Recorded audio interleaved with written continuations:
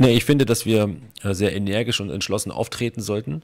Auf der einen Seite. Auf der anderen Seite brauchen wir aber auch ähm, viel Spaß und Spielfreude. Ja, und jetzt äh, sollten wir nicht so sehr über die psychische Komponente diskutieren und nachdenken, sondern wir müssen an unsere Physis denken. Wir müssen daran denken, dass wir extrem viel Laufarbeit verrichten sollten.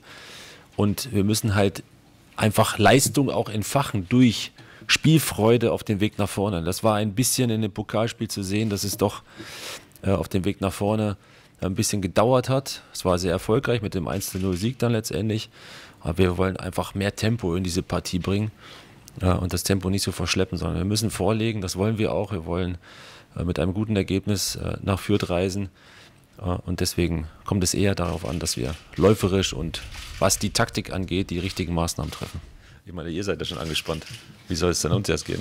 Das kann ja auch positiv sein, meine ich. Also. Absolut, absolut, ja, klar. Deswegen sage ich ja, wir müssen angespannt sein, ja. Wir müssen auch mit voller Energie da reingehen in diese Partie.